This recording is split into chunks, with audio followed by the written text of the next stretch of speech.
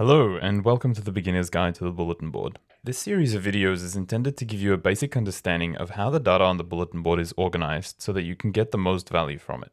I'll introduce you to the bulletin board website itself, and we'll also go into a bit more detail about some of the most popular reports to help you get a good understanding of the way the data works and how you could use it.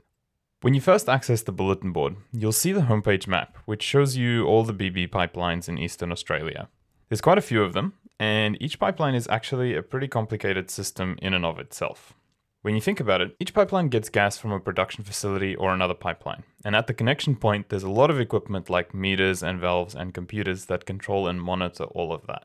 As the gas moves down the pipeline, there are connections to towns, industrial customers, and power stations along the way. And finally, when the pipeline reaches its destination, the gas makes its way into a city, another pipeline, or maybe even a storage facility.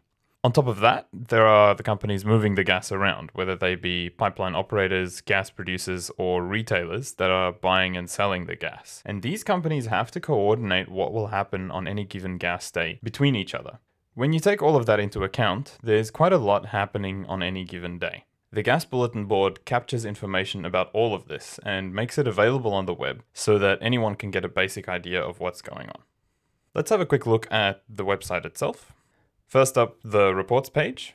This is a very important page because this allows you to access all of the data that pipeline operators submit to the bulletin board. We'll have a look at this again when we look at specific reports in other videos. Next up, the capacity listing tab. This tab has links to APA and Jemena's capacity trading sites, and it also shows you any current capacity listings on the gas supply hub. The bulletin board information tab is also very important. Here you'll find a whole bunch of information about the bulletin board itself, the guide to pipeline flow directions is exactly what the name says, and we'll cover that in depth in another video. The procedures and guides section contains the bulletin board procedures, very detailed information about data formats, and also a registration kit.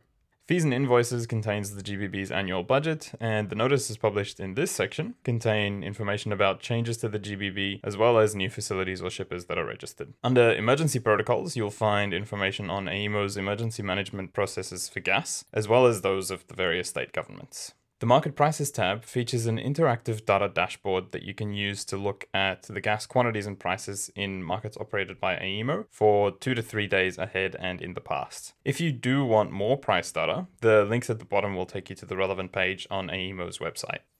The Industry Information tab contains three pages. The first page contains links to a range of information relevant to the gas industry. Some of it's published by AEMO and some of it by the government. The Facility Service Charges page allows facility operators to voluntarily publish a list of their service charges, and the Industry Notice Board allows organizations to voluntarily publish a notice to the wider industry. The last tab is where you'll find this series of videos.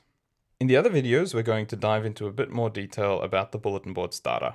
So if you'd like to know more, have a look at them. Otherwise, you can always get in touch with us through the AEMO support hub.